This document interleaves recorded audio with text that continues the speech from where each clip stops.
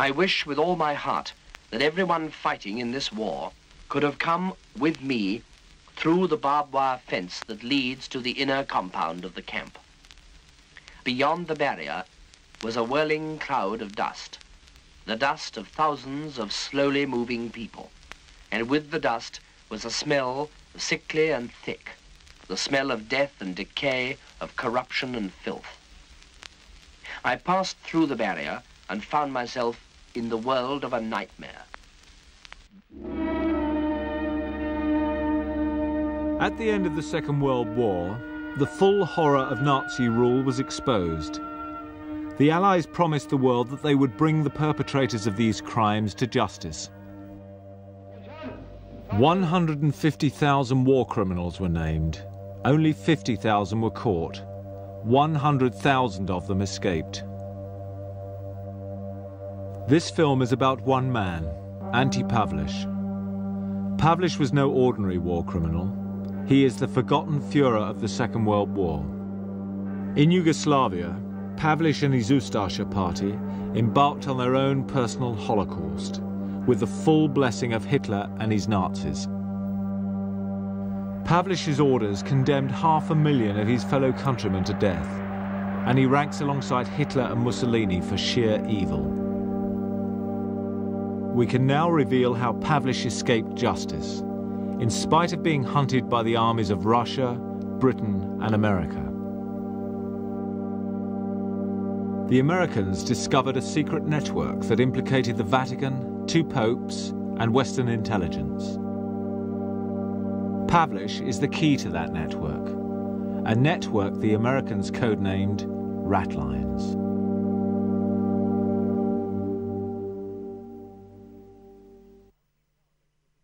Good evening. Ante Pavelic was a particularly brutal and uncompromising tyrant. To understand how someone as notorious as Pavelic could escape, it is first necessary to appreciate the chaos in Eastern Europe in 1945. The Second World War unleashed a bloodbath in Eastern Europe. It was here that the majority of the civilians died, in the camps and the killing fields of the Holocaust.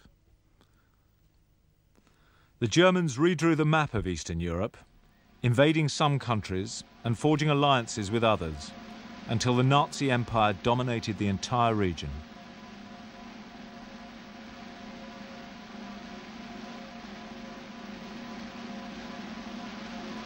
In all of these nations, the Germans found willing collaborators, local nationalists inspired by ancient ethnic hatreds, who looked to the Nazis for support. Nowhere was this clearer than the Balkan Republic of Yugoslavia, where the Croat National Party was fighting for independence. From exile, Pavelic organised a pre-war campaign of terror and assassination. By his hand, two nations are plunged into grief. Within a few minutes, the end had come. Barely five minutes after landing on French soil, Alexander of Yugoslavia was dead. Pavelic was tried in his absence and found guilty of the plot. He found safe haven in Italy under the protection and patronage of Mussolini. In Italy, Pavelic founded the Ustasha, or rebel party, symbolized by the Croatian checkerboard. The Ustasha party was a terrorist organization committed to the destruction of the Yugoslavian state in secret training camps, they prepared for power, swearing their oaths to blood and soil.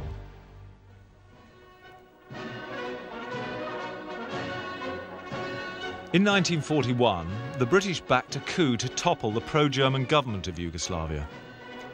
Hitler was furious. Operation Barbarossa, the assault on Russia, was delayed and the Wehrmacht turned on the Balkans instead.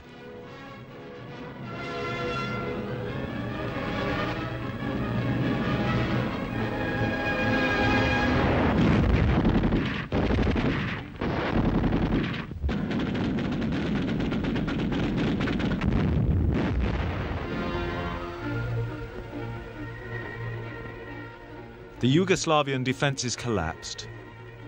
The entire campaign took only 10 days.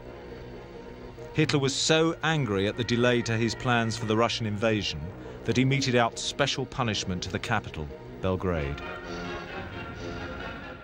The conquering armies divided up the spoils. Yugoslavia was cut up like a cake. Germany's allies were all given territory. The Nazis occupied Serbia, and Croatia became another puppet state. The flag bearers of Croatian nationalism were invited to form a government. Croatia was independent, and Pavelic's dream of power had become a reality, but only with the blessing of Nazi Germany.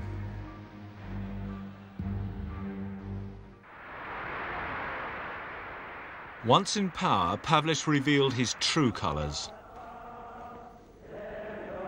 The three-week-old government passed anti-Jewish laws that were even stricter than the Nazis.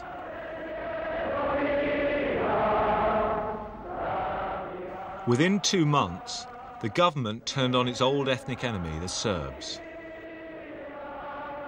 The Ustashi announced a program of deportation, Catholic conversion and extermination for the country's two million Orthodox Serbs. It was the beginning of four years of genocide. At a meeting in 1941, Hitler told Pavelic that if the Croatian state wished to be strong, it must pursue a policy of national intolerance for 50 years.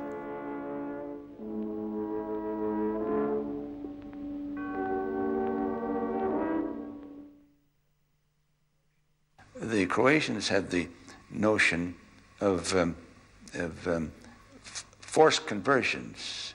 It was an idea that uh, had uh, seized them, and they pr proceeded to a program on their own to force Orthodox Christians to become Catholic Christians, namely of Latin rite. Armed Ustasha bands went out into the countryside and rounded up thousands of Serbian peasants.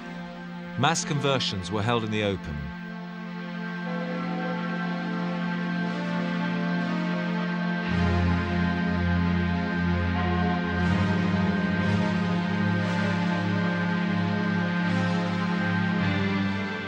A group of Croatians or Ustashi would come into a village and um, address themselves to a little child and ask him to make the sign of the cross.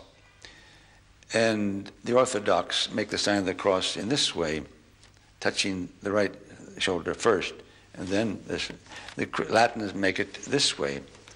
And uh, according to the story or legend or rumor, if the little child made the cross in the Orthodox way, that meant he was a Serb, and they killed him. Well, it was uh, quite openly a racist movement, and they were particularly proud of that. And I mean, you couldn't have a better example than uh, Dr. Budak, who was the uh, Minister for Religion and Education, and asked by a journalist what his um, what the government's policy would be uh, for the non-Croat racial and religious minorities. He said, for them, we have three million bullets. The Croatians had their own concentration camp at Jasenovac on the banks of the river Sava, where many thousands were murdered. They were killed with astonishing and primitive brutality.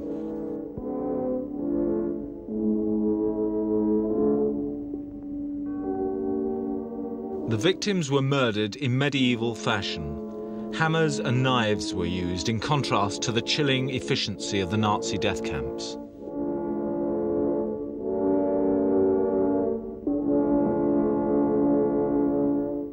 On one occasion in 1942, the camp guards made bets to see how many inmates they could kill in one night. A guard named Peter Brzica won by slitting the throats of 1,360 prisoners with a special knife.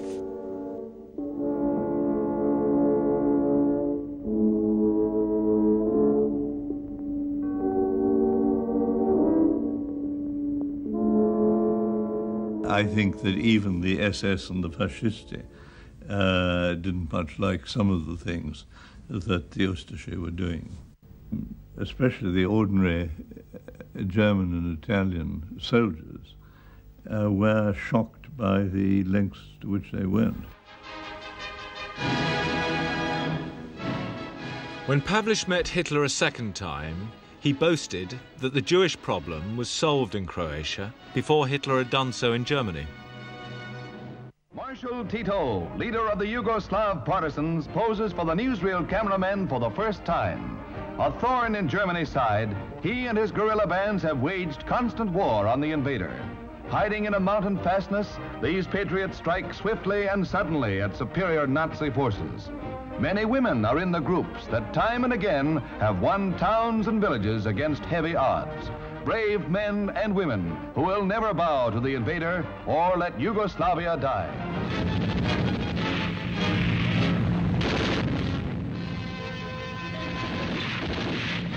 Yugoslav army advances.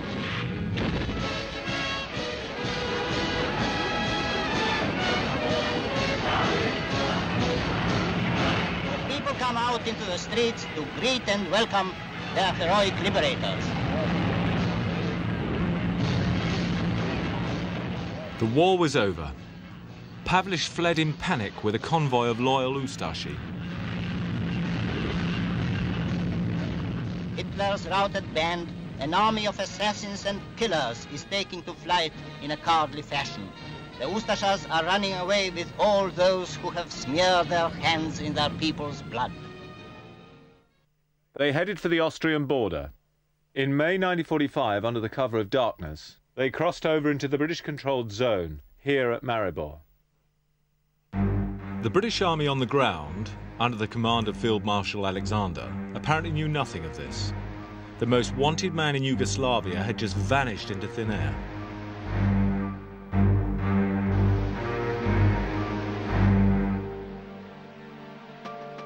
At Yalta, the Allies had agreed to repatriate war criminals, but in 1945 this was easier said than done.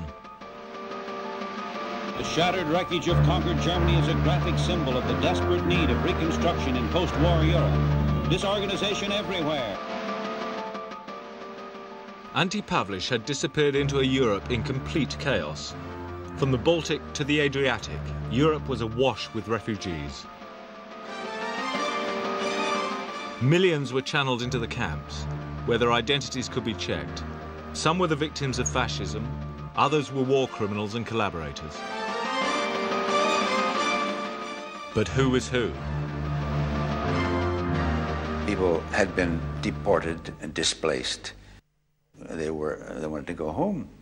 Or, on the other hand, some of them says that why should I go home? My country is occupied by the Red Army, by the communists. Well, among the uh, tens and hundreds of thousands of refugees, there were undoubtedly some Nazis, Germans, or war criminals from Yugoslavia, uh, or from uh, Hungary, for that matter. And uh, naturally, they didn't use their own names. If they had any papers, they destroyed them, and they passed for um, refugees. The war is over, but for them, there is still no peace.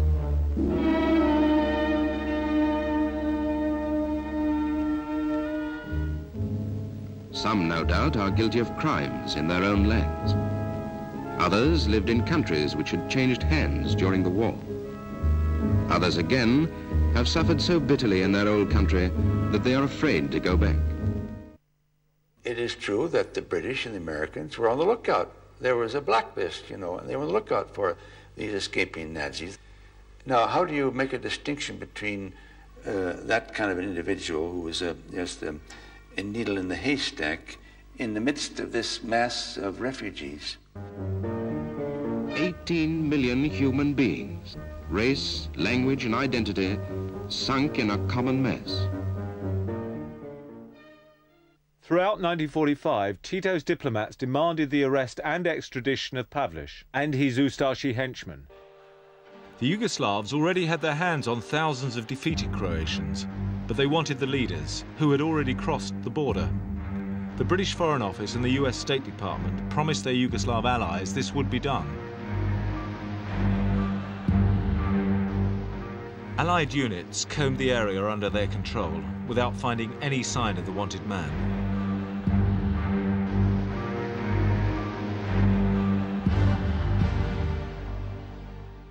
In July 1945, Tito's ambassador in London told the British Foreign Office Pavelic has been made prisoner by the troops of Field Marshal Alexander and is now in the part of Austria under the control of the British Army.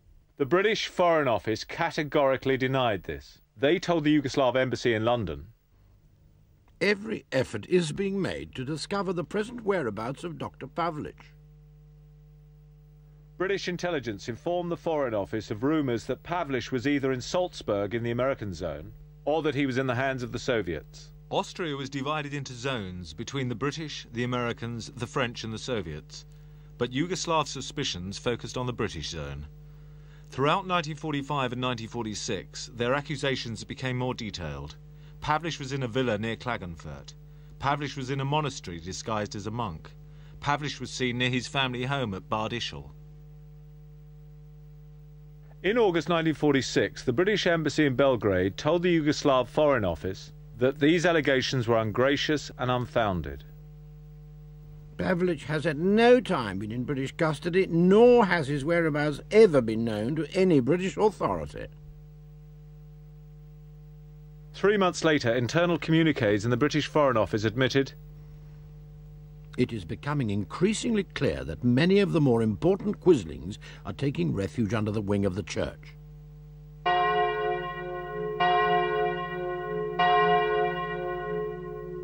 Thanks to the American Freedom of Information Act and the recently declassified documents in the US Public Archive, we now know how so many war criminals slipped through the Allied hands. Researchers in America, Australia, and Yugoslavia have reconstructed the route taken by Pavelic down the rat lines. His story is typical of thousands of others who escaped. In December 1946, intelligence from Austria noted that it was more and more likely that Pavelic was in Italy and that his whereabouts were known to a Dr. Draganovic and no one else. Dr. Draganovic had offered his help to Pavelic in Austria and supplied him with false ID papers. In April 1946, Pavelic left Austria accompanied by an Ustasha lieutenant. Both were dressed as Roman Catholic priests.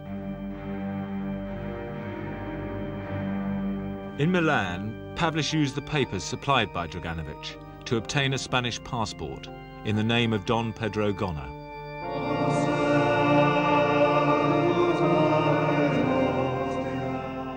By May 1946, Pavelic had made his way to Rome. Finally, it became obvious that he had found sanctuary inside Vatican property.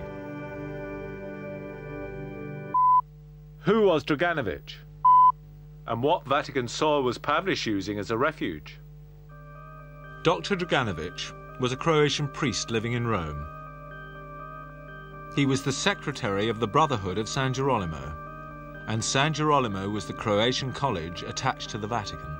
I think there's no doubt that uh, many of the uh, Croat priests and clergy in the Croat college felt very strongly nationalist and therefore very strongly um, uh, inclined rather to overstep the mark.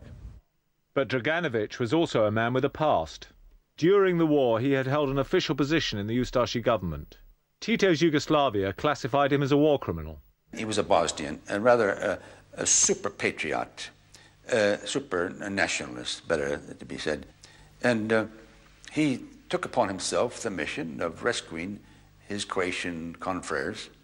And uh, he was terribly active. And, and of course, he was a prime target for the attacks of the Tito government after the war and uh, I guess he deserved it. He was, course, he was terribly active. In spite of this, the Allies allowed him to enter the camps. In order to assure normal religious assistance to Catholic prisoners, as well as to exercise that mission of charity proper to the Church. But what was Draganovic really doing? The mission's intelligence branch submitted quite an important report on the activities of uh, Father Draganovic and the Croat College. In the summer of 1945, Draganovic made a personal tour of the camps and made contact with the chief Ustashi representatives. Close liaison was maintained between San Girolamo and the Ustash groups throughout Italy and also in Austria. This led to the formation of a political intelligence service Draganovich was also distributing false identity papers to the Ustashi faithful in the camps. The value of these documents in post-war Europe cannot be underestimated. The documents in question were International Red Cross papers. They weren't passports, they were identity cards. So and so says he is so and so. And uh, it was a, on a piece of paper. It didn't guarantee that so and so who says he was so and so was really so and so. But in the bureaucratic uh, um, machinery, that it was necessary. There were two organizations that could help people with these papers. The Vatican Refugee Commission could vouch for an individual, and so could national representatives of the Red Cross.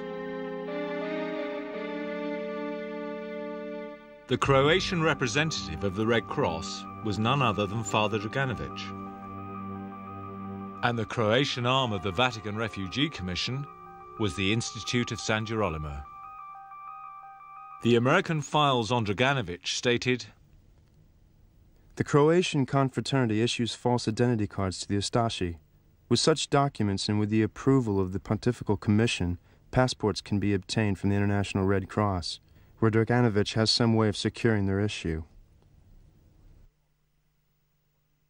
Ivo Omrcanin was one of these ways. He was a former Croatian diplomat living in Rome, working closely with Draganovic. I personally could go either to the international, to the delegation of International Red Cross and procure a passport of such cross or to go to the Italian police in town to get them uh, either regular police papers or the Nansen passport. Thanks to Draganovic and the Croatian rat line, Pavelic now enjoyed a new identity and the sanctuary of the Vatican. The route from Austria to Rome started in the camps. Here Draganovic handed out false papers, it ran into Italy and onto the neutral territory of the Vatican, hidden from the scrutiny of the Allied Nazi hunters. In their pursuit of war criminals, the Allies were slowly piecing together an intelligence picture of the rat lines, particularly the Americans. Their investigation into false ID papers and Pavelic both pointed to Father Draganovich. Although Pavelic had evaded capture so far, CIC, the American Counterintelligence Corps, was not far behind. The Rome detachment of the Corps believed that they were on the verge of arresting Pavelic, were it not for his Vatican protection. By 1947, the files show it was an open secret within Western intelligence that the Vatican was protecting Ustashi fugitives and hiding Pavelic himself. I think that most people in Rome who were interested in that sort of thing uh, realized that um, uh, San Girolamo and, uh, and particularly um, Father Draganovich were doing everything they could to get these Ustashi, um, uh, high-ranking Ustashi, out of, including Pavelic himself, um, out of Rome and uh, to somewhere safer. But a further shock was yet to come. Special Agent Gowen of the American CIC infiltrated as spy into the Croatian college. This spy reported that San Girolamo was honeycombed with cells of Ustashi operatives. In order to enter this monastery, one must submit to a personal search for weapons and identification. All doors are locked, and those that are not have an armed guard. A password is necessary to go from one room to another. The whole area is guarded by armed Ustashi youths in civilian clothes, and the Ustashi salute is exchanged constantly. According to CIC, Draganovich was also holding clandestine political meetings with senior ex-ministers of the Ustashi government. San Girolamo appeared to be offering more than just sanctuary. It was protecting a government in exile. In January 1947, the Americans discovered Pavelic himself had been in San Girolamo. By February, they traced him to the monastery of San Sabina on the left bank of the Tiber. The Americans convened a top-secret meeting on the 11th of April 1947 to plan Pavelic's arrest. The CIC was determined to avoid a diplomatic incident and therefore could not arrest him on Vatican soil. I think that um, if the Field Security Police had simply marched into the Croat College, there would have been a definite um, breach of international law and a, a, a, breach, certainly a breach of relations with the Vatican. Pavelic was living at an address in Rome that was believed to be a Vatican library. The file shows that Pavelic was always one step ahead of his would-be captors, moving from one Vatican safe house to another. When he travelled, he travelled in a car with Vatican plates. He managed to stay out of reach with the help of Draganovich, who had a spy of his own. Draganovich had uh, direct contact with that individual in the American secret intelligence who told him everything what Draganovich wanted to know about secrets of uh, uh, many other secret services. But these problems concealed the real obstacle to his arrest. In July, the CIC Chief of Operations ordered that Pavelic be taken into custody, on site. A week later, the same order was changed with a handwritten rider. New instructions, hands off. This mysterious respite allowed Pavelic to leave Rome on the last leg of the rat line. Pavelic uh, knew that I can procure uh, Argentinian entry visas without questions asked. When Draganovich sent a passport of the Red Cross, I did go to the Argentinian authorities, got the visa, turned it back, and so Pavelic could uh, leave uh, Italy. In the autumn of 1947, Pavelic made his way to Genoa with a false passport supplied by Draganovich in the name of Pablo Aranyos, a Hungarian refugee. In Genoa, another Croatian priest was the last link in the rat line. Father Petranovic was wanted by the Yugoslavs as a suspected war criminal. He arranged passage on the ships going to South America and told Draganovich how many berths were available. Draganovich would then send that number of passengers from Rome.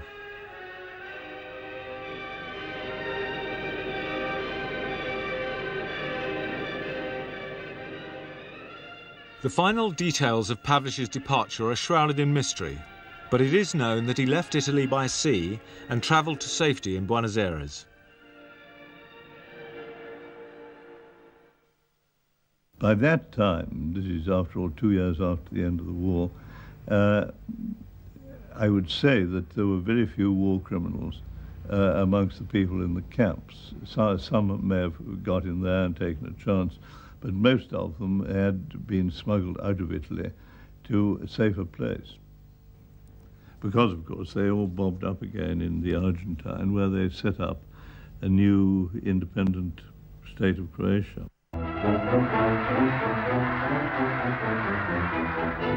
President Peron, now holding the rank of Brigadier General, reviews the Argentine Army and Navy. In Argentina, Peron employed Pavelic as a security advisor. Peron gave 35,000 entry visas to the Croatians to form a power bloc against the communists. A new leader for a key nation in Western Hemisphere solidarity. Why was the church protecting a man responsible for the murder of 500,000 people? Why was a lone Croatian priest able to protect Pavelic, a man hunted by every army in Europe? Why was the Institute of San Girolamo condoning his activities? Why was the Vatican hierarchy not in control of its rank and file? Or was it?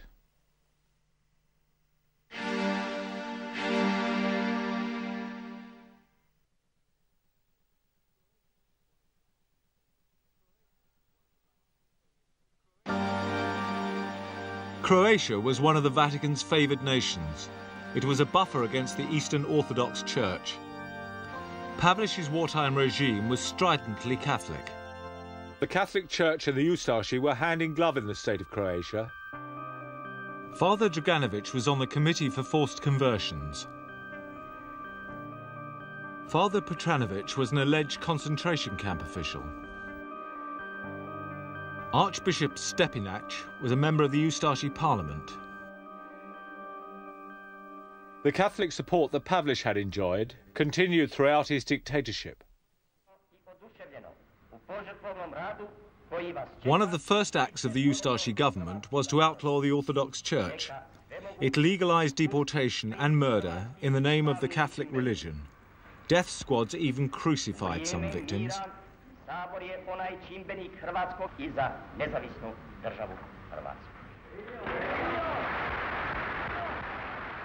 After 10 months of these horrifying atrocities, the state opening of Parliament still received the blessing of Archbishop Stepinac and the papal representative Marcone.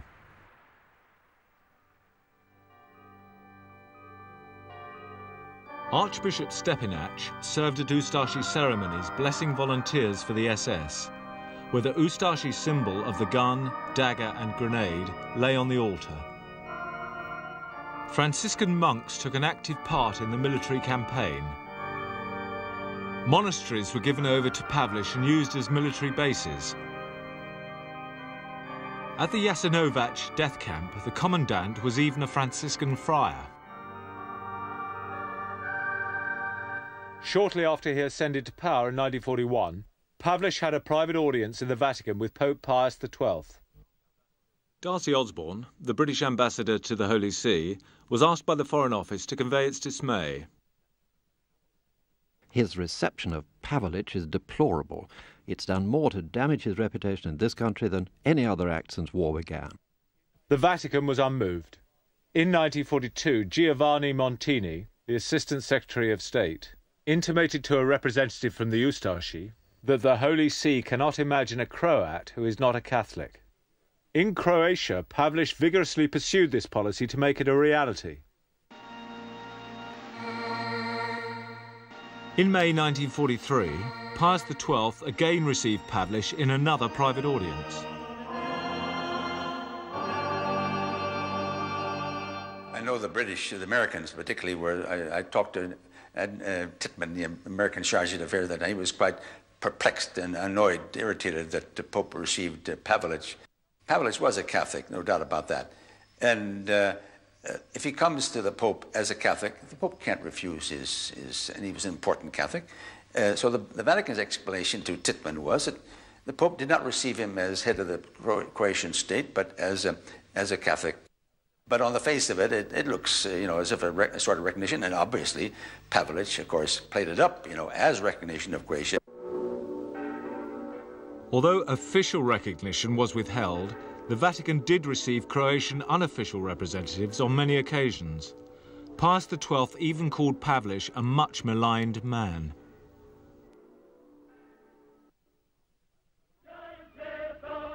The communist victory in Yugoslavia brought an end to the political power of the Catholic Church. Tito's new state had no place for the clergy. Members of the old regime were imprisoned or executed. Catholic Croatia was swallowed up by communist Yugoslavia. Although the tide of war had separated Croatia from the Ustashi, it had not separated the Ustashi from the church. The link was Draganovic. Draganovic was uh, a loud performer. Uh, he was seen everywhere. Everybody knew what he was doing. One of the priests working with him in 1946 gave a taped interview to our researchers. Monsignor Simcic revealed that Draganovic often discussed the work of San Girolamo with Monsignor Montini, Vatican Assistant Secretary of State. Draganovic would go and look for Montini, seeking advice for particular cases. Their relations were excellent. Draganovic would ask Montini to get more visas to open the doors for the people in the camps. On many occasions, Montini approached Draganovic and asked him to save people in danger, so there was a personal relationship. Did Draganovic know Pius XII? Of course, via Montini, and the Pope estimated him highly because he was a great man. Monsignor Montini was the Pope's right-hand man in the Secretary of State for humanitarian activities. He was actually operational director. So uh, he would have come in contact with Draganovic or with uh, uh, any refugees who would come contract within his own uh, limited, uh, you know, range of action. And um, as we know, he became Pope uh, Paul VI.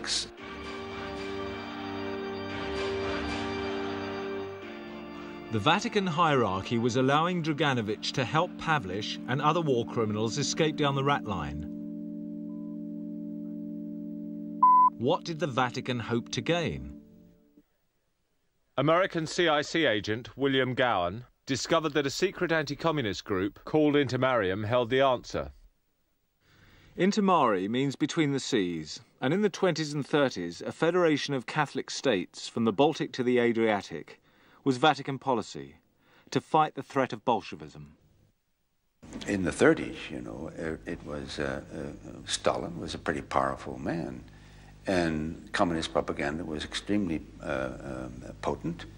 And uh, Pius XI, who was the who died in 1939, was a vigorous opponent of communism and mobilized uh, Catholic um, organizations to fight communism. And was he wrong? Of course not. Intermarium was a political group formed in the 1920s after the Russian Revolution. It was composed of Catholic nationalists committed to holding the line against the communists, a Catholic curtain across Europe. Communism was a threat to the church on two levels on the theological, the theoretical, ideological level, namely on the theory that, God doesn't exist, and then uh, this modern society should be based on godlessness. And then the second, on the practical level of simple persecution. Stalin annihilated the Catholic Church in, in the Soviet Union, and the Communist Party abroad was uh, uh, obviously following suit. If they could ever get control of, the, of uh, the political power, they too would follow the same pattern. So on this double level, there was perfectly good reason for the Catholic Church, and the, above all, under the leadership of, of the Pope, to take a very dim view indeed of the Soviet Union, especially under Stalin. In the East, the Catholic Church was fighting for its very existence. This life and death struggle drew it into the political intrigues of Intermarium and the Ratlines. The final chapter in the Ratline scandal was exposed to Gowen and the CIC by the confessions of a former Hungarian Nazi war criminal, Ferenc Vajda. As an informer, he could hardly have had better credentials. Before the war, he had been an active member of Intermarium, and he had escaped to Rome down the Ratline. His story contained remarkable revelations. He claimed British and French secret services were involved with Intermarium before the war, funding its activities and protecting its agents.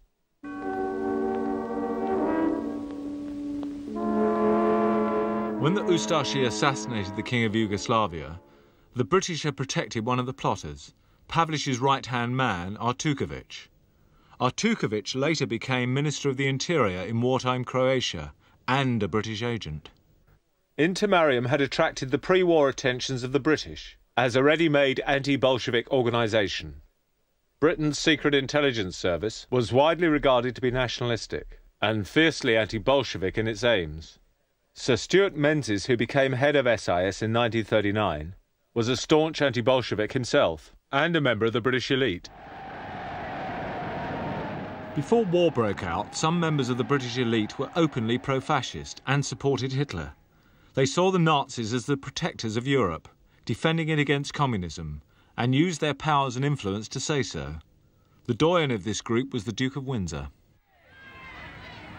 Accompanied by Dr. Ley, the Duke begins his tour of inspection of industrial conditions with a visit to a suburban factory. And he has explained to him in detail Germany's methods of organizing labor. The war inflicted a deadly blow to the hopes of a Nazi-British pact against the Communists. In fact, by 1945, all hopes of containing communism had vanished. The Red Army liberated Eastern Europe from the Nazis and occupied it themselves. Local nationalists, the Vatican and the West all had to face the fact that Stalin was now in charge. The countries of Intermarium became the communist bloc, the war had turned the dream of a Catholic curtain into the reality of an Iron Curtain. The war was a brief interruption in the fight against the communists. The communists are red fascists. Stalin will not stop of his own volition. He can only be stopped. The Yugoslavs had been right. Pavelic had been protected by anti communists in the Vatican. The Yugoslavs had also pointed the finger of suspicion at the British. Had they been right? In 1945, the British and French secret services revitalised their links with the fascists, just as the Vatican had done. Gowen reported that when Pavelic crossed into Austria, he was protected by the British in British guarded quarters for a two week period. Due to the inevitable embarrassment of British command, he then left these quarters but remained in the British occupation zone for two or three months more, still in contact with the British intelligence service. Gowen further stated that a British lieutenant colonel was put in charge of two trucks laden with the supposed property of the Catholic Church in the British zone of Austria. These two trucks entered Italy and went to an unknown destination. This was the treasure that had been taken by the Ustashi in their flight from Zagreb. Some of the gold never left Yugoslavia, and it was later found in a Franciscan monastery. This was the gold stolen from the murdered victims of the Ustashi. The treasure that did leave was placed in the hands of Father Draganovic. Draganovic uh, was saying that the money will be used for the liberation of Croatia. Copies of Free and Tamari were circulated in the displaced persons camps in Austria and Italy, and a Ustashi radio station was operating from inside the British zone. Well, I think that uh, it was very difficult for anybody to keep uh, adequate control over the camps, partly because there weren't the men to do it with. But what they did manage to do, I think the DPs, or quite a lot of them, uh, was to um, set up a regime and administer themselves a regime of their own. You could uh, buy a Tommy gun on the black market uh, for a kilo of coffee, and that enabled quite a lot of them to arm themselves. And there were deserters and brigands of one kind or another living in the hills.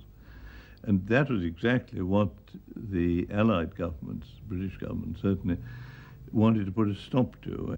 In 1947, a deal was made with Tito, the Allies would return high-ranking Ustashi, but not the rank and file. One of the negotiators was Brigadier Fitzroy MacLean. Hunting war criminals was not top of the Allied priority list. My job was to uh, take a team to identify these people and as far as possible to get those who hadn't got anything against them, who were not, uh, couldn't possibly be regarded as war criminals, uh, to, to find somewhere, get them out of Italy, and relieve the pressure on the Italian government to return them. The camps were full of anti communists with wartime experience of fighting the Soviets. They proved to be fertile ground for recruiting Intermarium agents, including wanted war criminals. It uh, started that the British uh, funded, funded uh, the action and therefore all money given to the intermarium was coming from uh, Britons.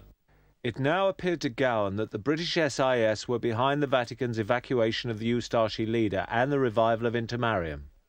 Vajda's story alerted the Americans to the potential of intermarium as a ready-made anti-communist network. Gowen promptly told his superiors the most outstanding feature of these complex activities is the inability of these anti-communists to find a stable base for their operations. It is the opinion of this agent that friendly coordination by the United States would build a firm base for the future. The US were joining the recruitment drive for these anti-communists. The practical problem was how to protect these recruits from the constant danger of kidnap and arrest by the communists.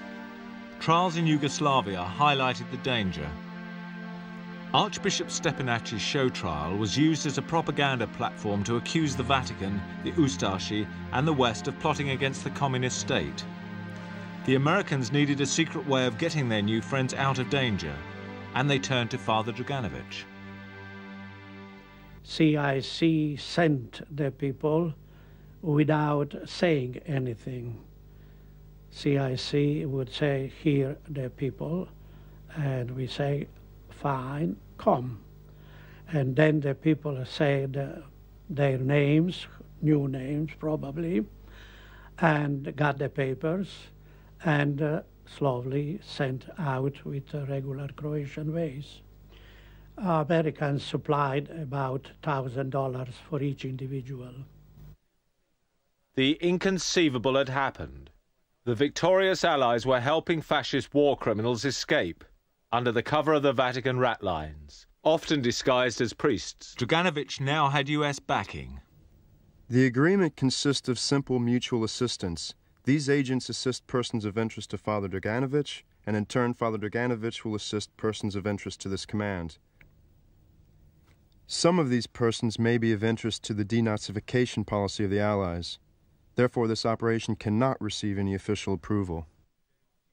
Allen Dulles and James Jesus Angleton, who were later to rise to the top of the CIA, used the rat line to smuggle Nazi scientists and intelligence experts from Germany itself.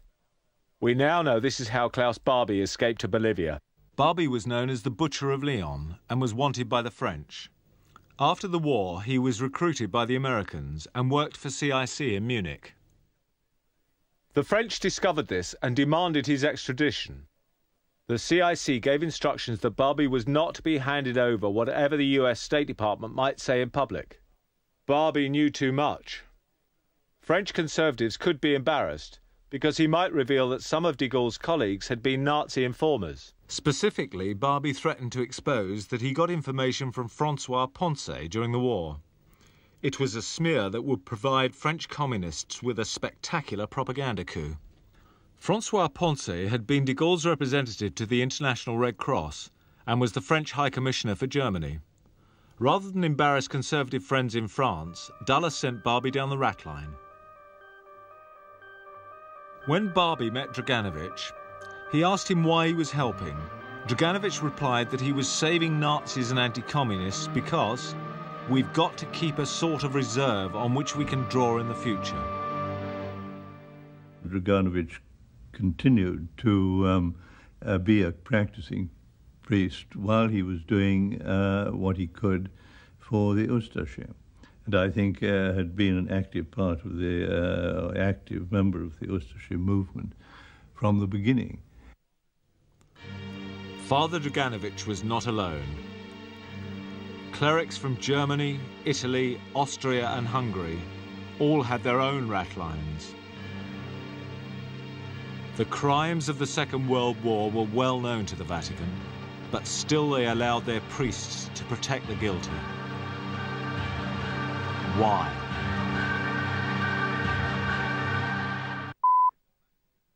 What did the Vatican gain?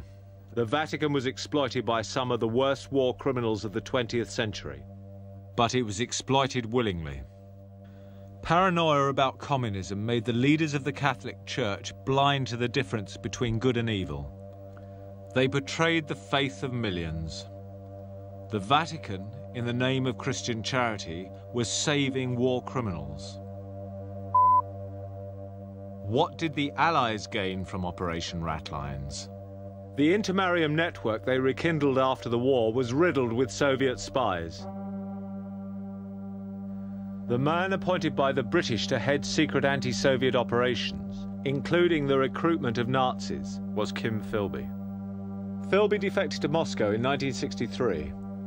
The CIA had to re-examine all security clearances given to the Nazi fugitives by MI5 and MI6 more than a decade of Cold War operations was hopelessly compromised. What did anybody gain? The only winners were the thousands of wanted war criminals who escaped via the rat lines. They left Europe devastated by their crimes and were given new lives and identities in return. It was their reward for fighting the communists before, during, and after the Second World War.